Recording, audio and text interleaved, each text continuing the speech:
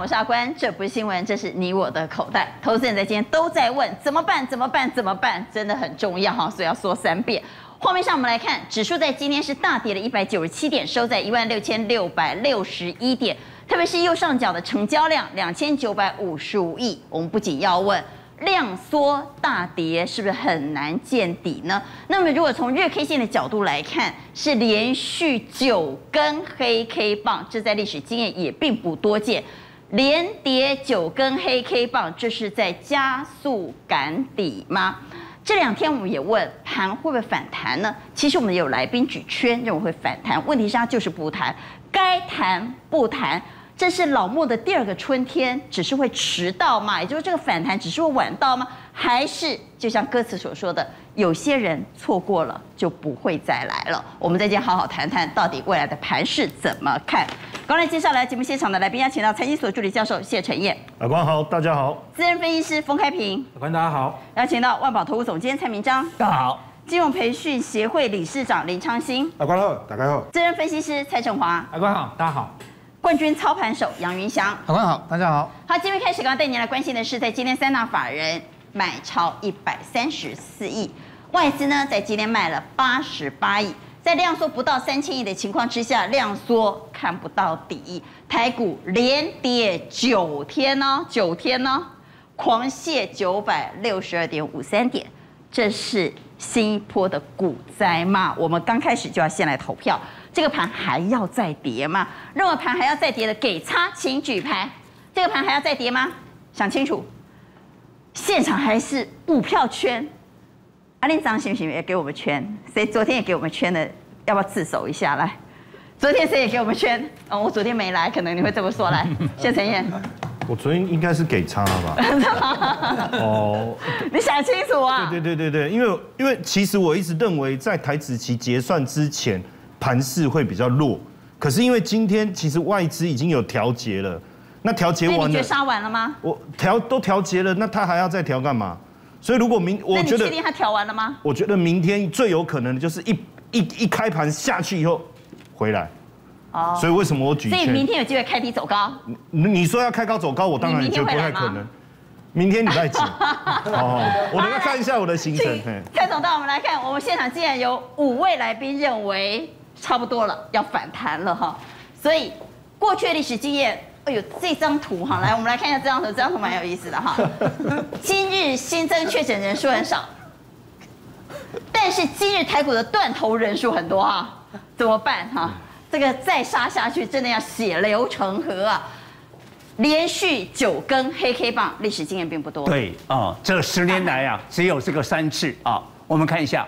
这一次啊，跌了九天。那上一次是二零一九的八月七号，当时是中美贸易战；二零一零的五月七号，欧债危机啊。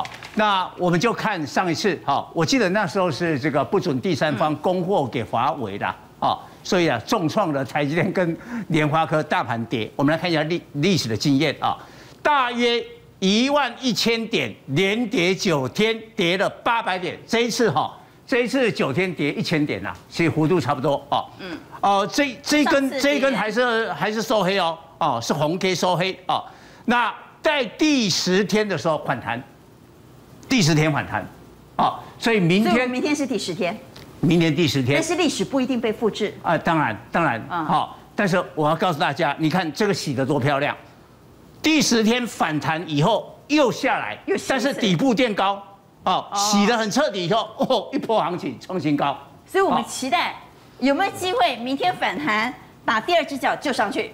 对，未来几天还是整理盘，但是明天有反弹的机会，而且现在下午哈，市场在传一个消息，什么消息？政府要出手。你们是因为这个消息才都举券的吗？呃，我你们没有被政府我我认为哈，政府要反反弹反弹以后才宣布，哦，否则空包弹。啊，就是当冲降税可能会延长三年啊，当冲所以难道是跌九天来换三年的当冲降税吗？也也有可能。好，难道是跌九天来换 三年的当冲降税吗？我来问一下振华来，振华，你刚刚是举圈吗？我举圈了。为什么？这个大盘哦，其实稍微有一点这个技术分析的认知的人哦，大部分都看成 A、B、C 波啦。那实物上我们是这样讲，并没有说 C 波一定要比 A 波长或比 A 波短，但是时间上应该会差不多。你现在看哦，现在杀第一段从一万八万八杀下来到这个基线这个地方是第一段，那我们称之为 A 嘛。现在反弹一个 B 波以后再杀下去，我想这个地方已经差不多到等距的位置。当然有的时候 A 波会比较长会比较短，那像刚刚陈燕讲的，刚好在这个结算前后嘛，我想最近就在这几天，就是未来来讲的话，还有没有下跌空间？还有，但是应该不是在这个地方在急跌，应该是有一个弹上来的空间会要最近发生，这样相对来讲比较合理。好，今天唯一给差的，认为还要再跌的是云翔。对，因为我觉得就是说最怕的就是这种大盘缓跌，就是说慢慢跌慢慢跌，因为我觉得说融资就不够快，融资跌今天算急跌了吧？今天跌那么多哎、今天还不算急跌啊，我觉得，因为你看前面会很快的两只大。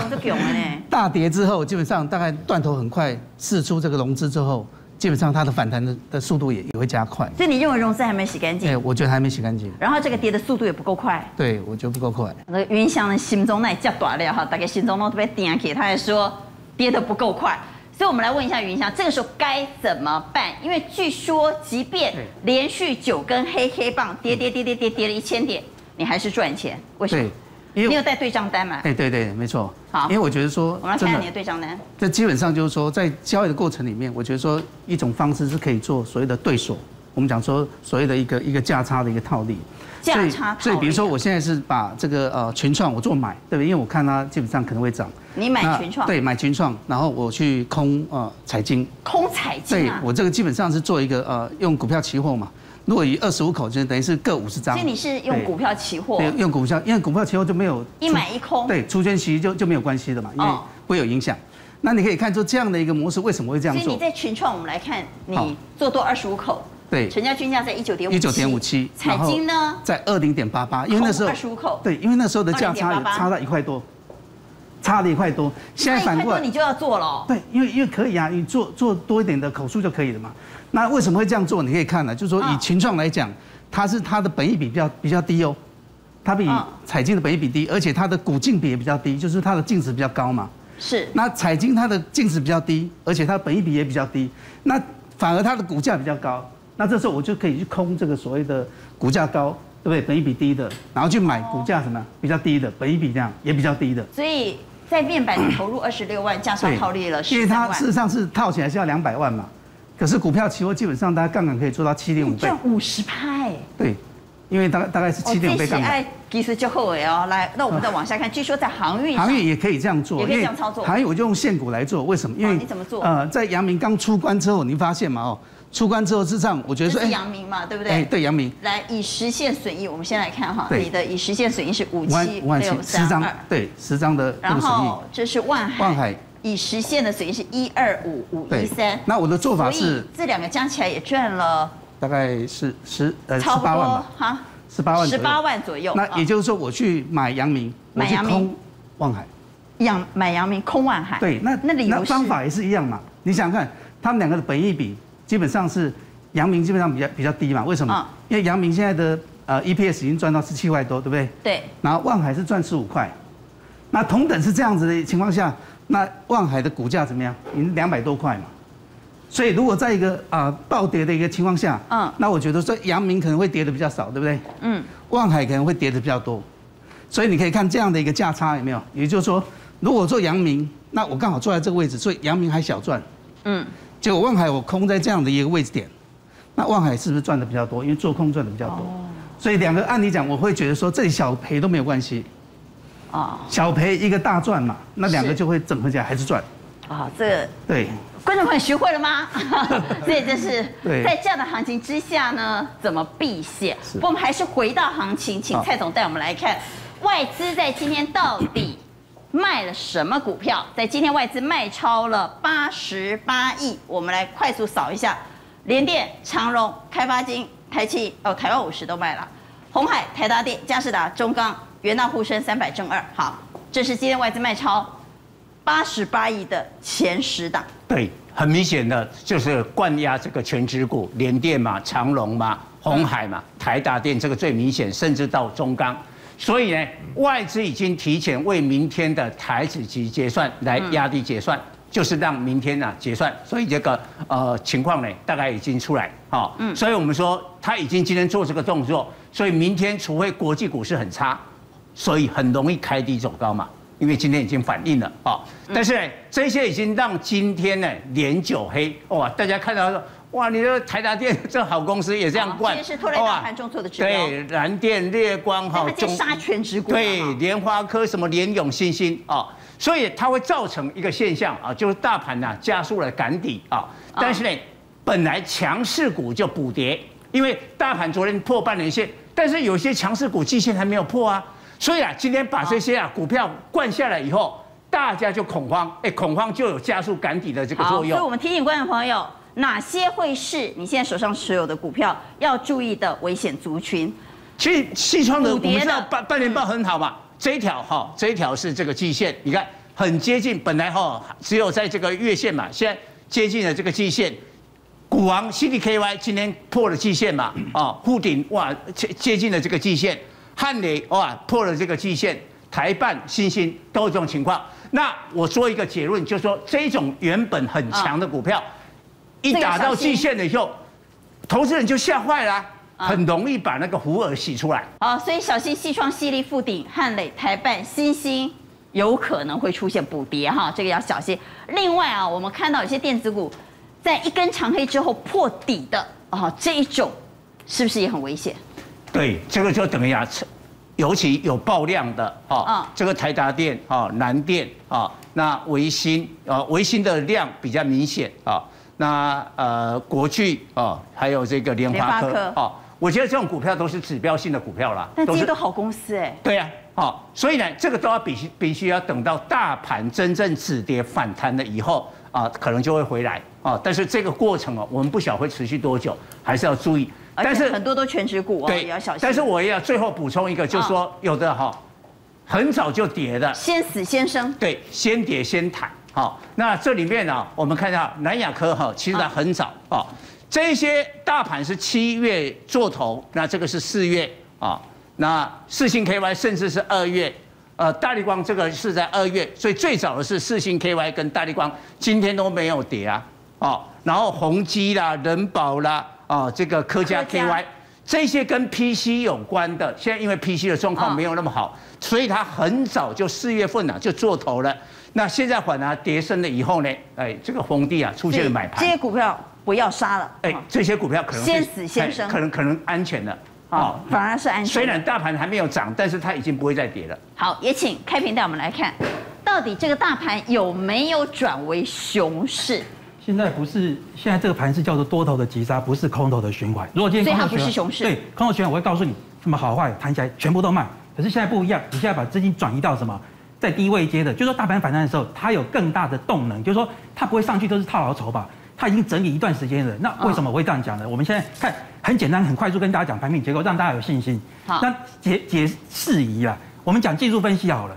很多人说啊，这个地方有大盘一个 M 大一个大 M，然后大 M 你看右边又一个什么头肩底，我说那个是书读一半，为什么？因为它这已经过右边过左边，这个就不叫做 M 头，就是已经过高了，这个就不叫 M 头。但是说过高之后拉回，这也是一样啊。右肩怎么会比左肩高呢？没有，所以这不是头肩底，所以说这只是一个大盘 A、B、C 的一个回档。那既然不是空头的循环，你不用担心。麻烦你讲侧读一半，不要讲书读一半，好不好？在股市不要讲书，好不好？好好好。侧太极半，对，侧读一半。侧太极半了哈，讲台语。侧读一半。那这个有这个会不会成为凹洞？有机会。但有人说，哎，这个从有人三四天前就讲凹洞，可是为什么明天还有机会呢？就像刚才很多来宾也有提到，明天是结算嘛，可能明天急杀的时候，今天你去问问看。所以今天杀全指股可能是。万般杀牌未结算。各位，你去打去问问看，你认识的券商的朋友哦，很多今天都已经在准备通知老客户啊，或者是那个做的不好客户融资要准备了。明天可能一开盘之后要追缴，对，可能会有一个很很激烈。可是通常在这种很激烈情况之下，就会有一个沙盘未结算你看，你看，我们很简单来看，你看。